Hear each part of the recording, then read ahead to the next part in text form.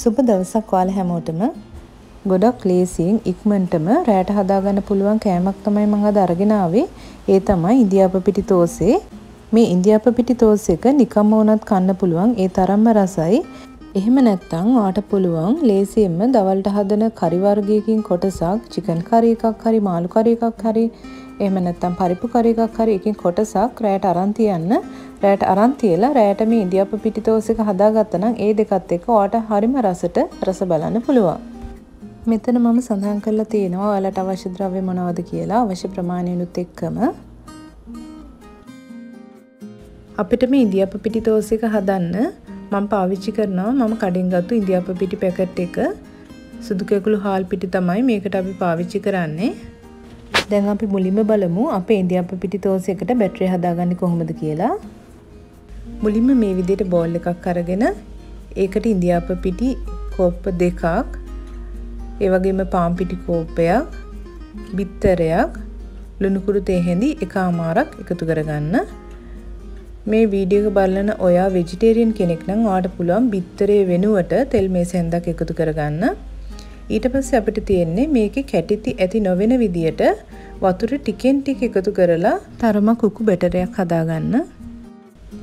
මෙතනදී වඩාත්ම සුදුසුයි ඔයාලට විස්ක එකක් පාවිච්චි කරන්න පුළුවන් නම් ඔයාලට විස්ක එකක් නැත්නම් ගෑරප්පුවක් පාවිච්චි කරන්න.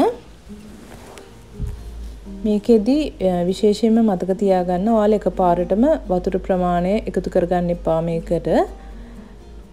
ටිකෙන් ටික එකතු කර කර විස් කරන්න. එතකොට කැටිති ඇති වෙන්නේ නැති විදියට අපිට හොඳ බැටර් එකක් ඉක්මනටම පහසුවෙන් හදාගන්න පුළුවන්. මේ බැටර් එක හදන්න මට වතුර කෝප්ප 3 මාරට ආසන්න ප්‍රමාණයක් ගියා. මේ හදාගත්තු බැටර් එකකින් කෙලිම ඔයාලට ප්ලේන් ඉන්දියාප පිටිතෝසෙ හදාගන්න පුළුවන්. මම ඉන්දියාප පිටිතෝසෙක වඩාත් රසවත් කරගන්න පොඩි තෙම්පරාදුකුත් එකතු කරනවා. පෑන් එකට තෙල් දාලා ඒක රත් වුණෙන් පස්සේ අබෑට කෑලි මිරිස් පොඩියට කපාගත්තු බීලූණු නැත්නම් රතුලූණු ඒ වගේම පොඩියට කපාගත්තු කරපිංච එකතු කරගෙන මෙන්න මේ විදියට තෙම්පරාදු කරගන්න.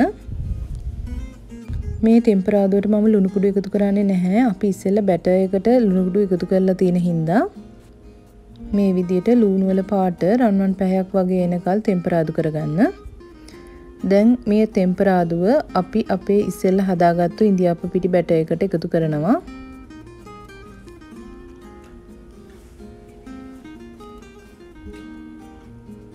මේ විදියට අපේ තෙම්පරාදුව ඉන්දියාප පිටි බැටර් එකට එකතු කරලා හොඳට කලවම් කරනවා.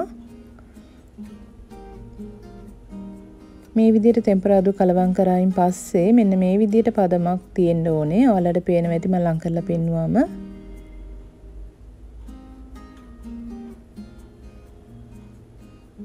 බැට එක ගොඩක් දියත් නැති උකුත් නැති පදමක් වෙන්න ඕනේ. ඊට පස්සේ මම තෝස් එක හදන පෑන් එක අරගෙන ඒකට තෙල් ටිකක් බ්‍රෂ් කරලා අපේ ඉන්දියාප පිටි තෝස් එක දාගන්නවා. මෙතනදී හැම ඉන්දියාප පිටි තෝස් එකටම ඔයා සමාන ප්‍රමාණයෙන් බැටර් එක දාගත්තොත් ඔයාට පුළුවන් සමාන සයිස් එකට ඉන්දියාප පිටි තෝසෙ ටික හදාගන්න. මෙතනදී ගින්දර ගොඩක් වැඩි කරගන්න එපා. ගින්දර සාමාන්‍ය ප්‍රමාණයේ තියාගෙන තෝසෙ ඔක්කොම හදාගන්න පුළුවන්.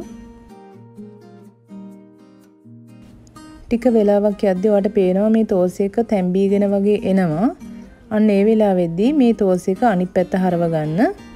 ඊට පස්සේ අනිත් පැත්ත හරවලා ටික වෙලාවක් මේ විදිහට තියාගෙන ඔයාලට පුළුවන් අපි හදාගත්තු ඉන්දියාප පිටි තෝස් එක ලිපෙන් අයින් කරගන්න.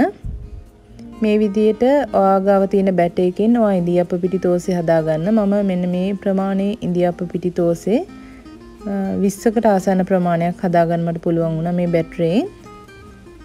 මේ විදිහට අඩිය පැතිලි හැන්දක් තියෙනවා නම් ඔයාලට ලේසියෙන්ම තෝස එක තුනී කරගන්න පුළුවන්. මේ විදිහට ඔයා ඉන්දියාප පිටි තෝස ටික හදාගත්තෙන් පස්සේ ඔයාට පුළුවන් දවල් ඉතුරු කරගත්තු කරි එකක් එක්ක රස බලන්න. මෙතනදී ඔයාට පුළුවන් කරි එකක් විදියට මාළු කරි එකක් එහෙම නැත්නම් පරිප්පු නැත්නම් චිකන් කරි එකක් එහෙමත් නැත්නම් පොල් සම්බෝලයක් වගේ එකක් හදාගෙන ඒකත් එක්ක රස බලන්න. ඇත්තටම හරිම රසයි. ඉතින් ඔයාලටත් පුළුවන් ඔයාගේ රෑ කෑමට මෙන්න මේ ඉන්දියාප පිටි තෝස් එක එකතු කරගන්න අනිවාර්යයෙන්ම හදලා බලන්න.